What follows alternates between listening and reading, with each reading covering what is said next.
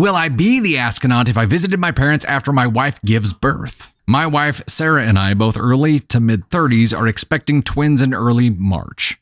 First and only kids for both of us. We had to go through IVF due to fertility struggles. Sarah is scheduled for a C section due to this being a difficult pregnancy and other complications that make her high risk.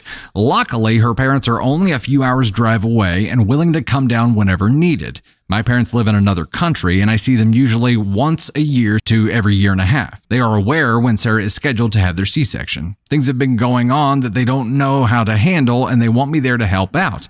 My parents don't have a lot of money, but they went ahead and booked me a non refundable plane ticket to come help them and visit for six weeks. The flight date is five days after Sarah's scheduled C section.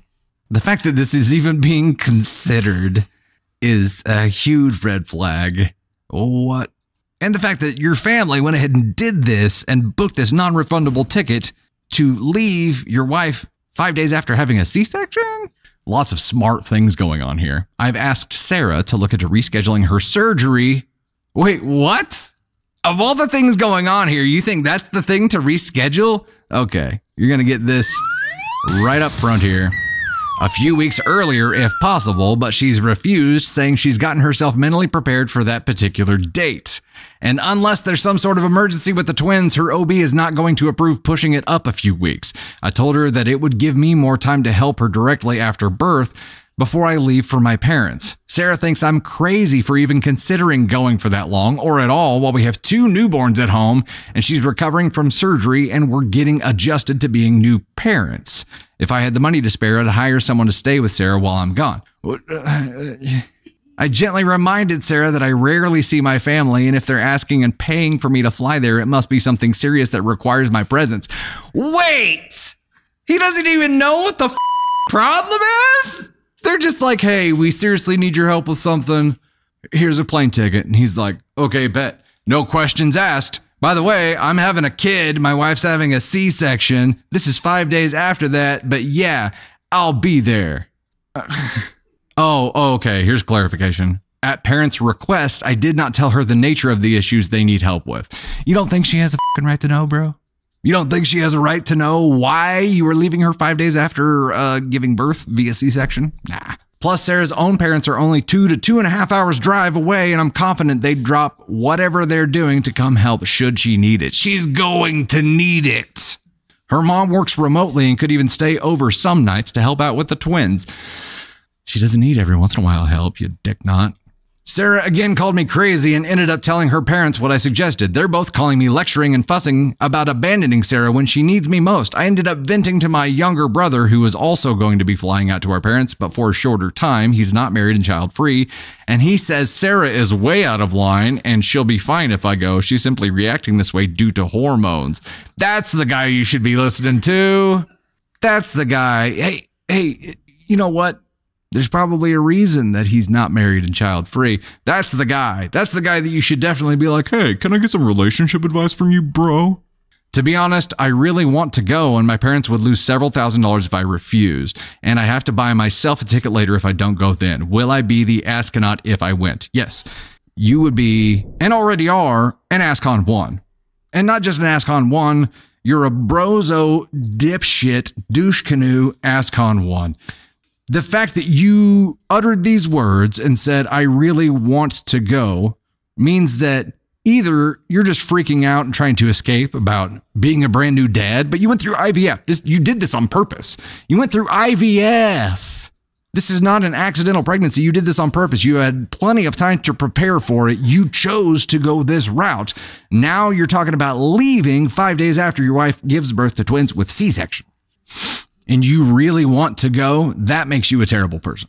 Your wife has a right to know what is so important that it means you drop everything and, and take off. And it better be like the end of the freaking world if you're abandoning her and your brand new babies to go fly halfway around the world and you won't even tell her why. There are so many red flags here. You're going to find yourself divorced and you're not going to have a relationship with your kids. That's where this is heading. It better be that freaking important. Uh, Ladies and gentlemen, here to chime in, the magnificent Candy Thunder. My Sorry, I could. I just, I just got Uh. pissed and I just started talking. my my eyes while I'm like reading the story are like it just keeps getting worse and worse and worse. Um, but my favorite part is that he asked um he asked her to reschedule her surgery like it's a cosmetic procedure. Like she's just getting a boob job, she can do it whenever. You can't take babies out early. Like you can't, especially twins because they're most likely already coming early. And this guy is just oh my gosh, he makes me so mad. Like even more mad than the guy that wanted his pregnant or ready to pop wife to to clean up his mess every day. Um, there's also someone had said he would be coming home a single dad. He's not coming home a dad because this this No. is not a dad. Nope. This is not a parent. This is a choice not to be Yeah. a dad, which is so confusing because it's IVF. Like that, that's a process that you start, and you know if it's anything like most people, it's a it's a several year long process of getting to the Right. point where you actually have a child. So Yeah. what what now? I I don't know. I just don't understand how you could ever make this right.